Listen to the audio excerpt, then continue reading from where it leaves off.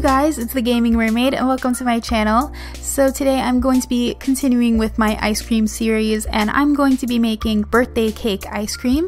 So as the name suggests, it's a very adorable pastel themed sim and I hope you guys like this.